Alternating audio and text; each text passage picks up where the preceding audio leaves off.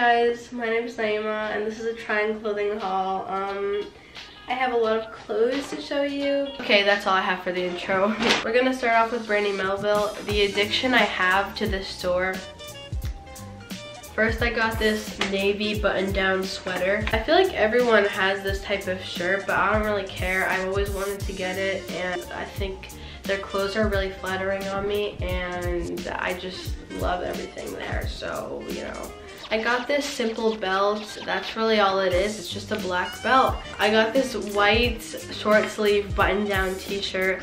I like how it's not super cropped and it's not tight. It's just a shirt, you know, like just let me live my life with this shirt on and it's a really great shirt. This altogether was like $60. I don't know, man. Next, I got these skinny plain black jeans because I need them for my work. I'm gonna work at a cafe, guys. It's happening. I'm gonna be a working girl. Then we got another pair of black jeans just in case uh, I want to switch it up. And these are some mom jeans, faded. I really like them. They're very nice. I'm using really good adjectives. I'm very happy. Okay, lastly from American Eagle we got these pair the lastly from American Eagle we got these jeans and these are my new favorite jeans. I love the wash. I love all the rips and I'm gonna wear them like every single day. So the majority of the clothes I bought were from Goodwill. I got this shirt from Calvin Klein and it's really simple and it just has a velvet black v-neck. I just kind of base everything I buy now off of like would it be in Brandy Melville? Would it be in Brandy Melville? Would it be in Brandy Melville? And it's not good, but I don't really, it's fine, whatever. Okay, next I got this dress from Brandy Melville and um, it was only $7.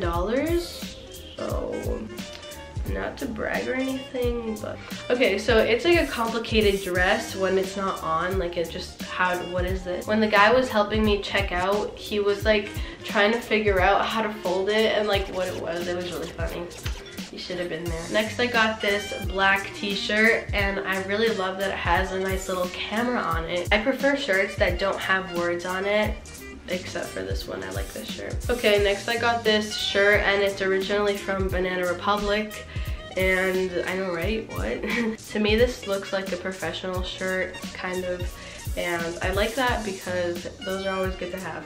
Next, I got this navy zip up and I love the stripes on the side. And I don't really have a lot of zipper up wear.